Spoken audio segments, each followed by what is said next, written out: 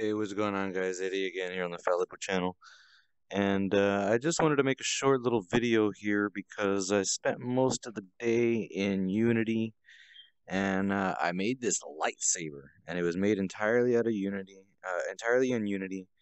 I followed an old tutorial on how to get this line render. This is actually two line renders uh, stacked on top of each other. There's a one that goes from white to transparent in the center and then one that like you know like a like a purple because uh, the idea is is that I want to make a little prototype for uh, you know what Gun Gale in uh, Sword Art Online 2 could have could have really had been played like.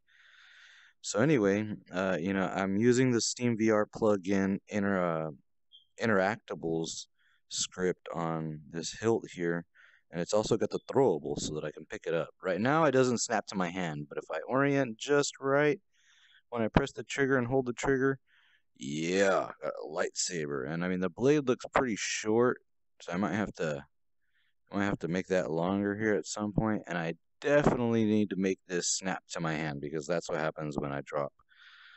You know, when I drop when I stop pressing the trigger, but uh you know, it's for a first attempt made entirely in Unity. I didn't use Maya or Blender or nothing. This was just all made in Unity with line render. Uh, and then, you know, three simple shapes here for a hilt.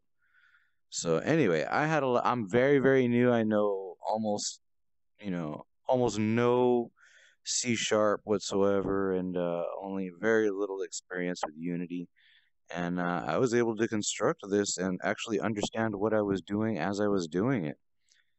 So uh, I'll probably leave some links in the description for the resources that I used to build this, because uh, it was built completely from scratch. Uh, I no, you know what? That's not right. I used two materials that I downloaded from one of the guy's tutorials, but uh, they're pretty easy.